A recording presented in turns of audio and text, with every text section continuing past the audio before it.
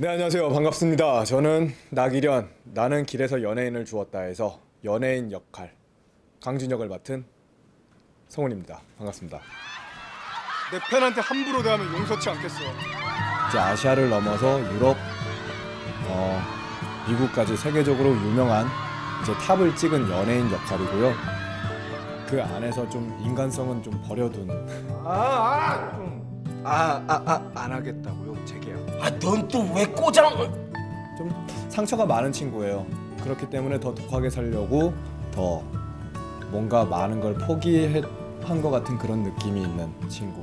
너 내가 너 그렇게 반드시 만들 거야. 내가 너 잡아 쳐넣는다. 나 강준혁이야. 누가 봐도 정상 아닌 것 같은 그런 느낌. 사람 살려. 정상적이지 않는 느낌. 근데 저는 그런 느낌이 너무 좋거든요. 캐릭터로서. 그래서 그런 느낌이 굉장히 매력인 것 같아요. 나쁜 놈에겐 싸대기를, 착한 이에겐 박수를. 일단 먹고 싶은 거 먹을 수 있고 그리고 뭐.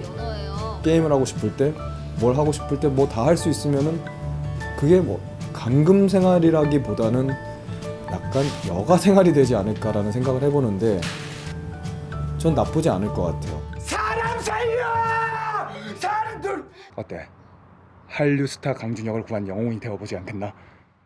모든 아시아 여성들의 평생 은인이 되어보는 거. 야 이씨, 야이 말은 야이 새끼야. 코믹 감금 로맨스 나는 길에서 연예인을 주었다. 많은 시청 부탁드리겠습니다.